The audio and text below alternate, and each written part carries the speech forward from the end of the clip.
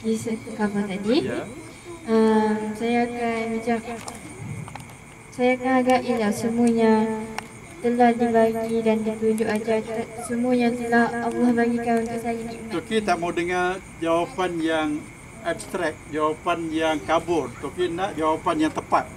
Yang jelas, orang lain pun nak faham. Tok- Cucu Toki pun yang kecil tu nak faham. Bagaimana cara nak menghormati Ustaz Wan, kawan-kawan dan juga alam ini. Hargai. Cara hargai itu.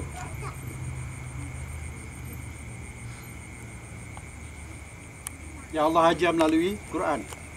Yang Nabi Muhammad ajar melalui hadis Nabi. Fidyah.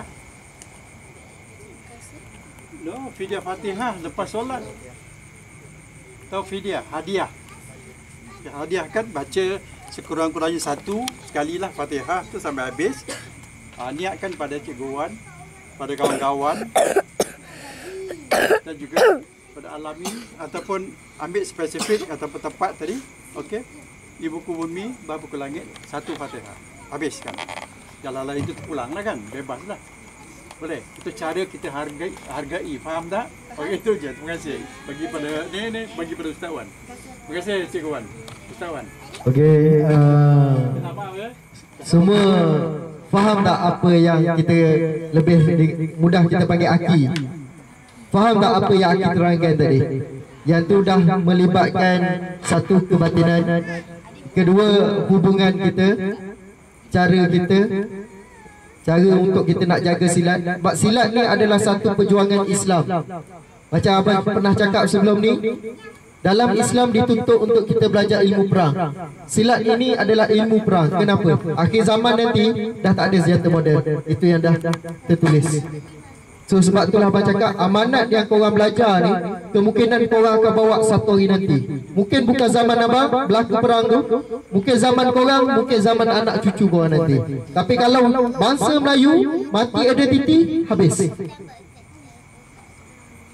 Maknanya kita dah tak ada apa-apa. Faham? So saya sebagai Cikgu uh, Wan lah sangat berterima kasih dekat Aki sebab sanggup uh, dan sudi kongsi sedikit ilmu pada kita orang semua. Mana tahu satu hari nanti ada lagi masa minggu-minggu depan Aki ada masa untuk bercerita tentang sejarah dengan anak-anak PGSSP sebab daripada keturunan Aki sendiri pun salah seorang pejuang yang memperjuangkan tanah Melayu lah. Sebab kata pejuang tanah Melayu yang bersama-sama menyerang komunis eh. Komunis dan Inggeris. Jadi mungkin banyak penceritaan yang tu yang sebenarnya kita nak. Dan hari ini juga abang boleh cakap abang dapat ilmu baru daripada Aki sendiri Alhamdulillah maknanya Allah hadirkan ni untuk Allah bagikan ilmu pada kita semua boleh? Okey, so sama semua ucap terima kasih dan bagi tepukan pada Aki.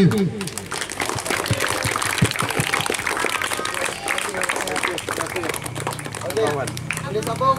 ha sambung okey Okey. Boleh Aki sekedap ke ke kereta. Okey, terima kasih. Selamat ya. Selamat ya. Terima kasih banyak.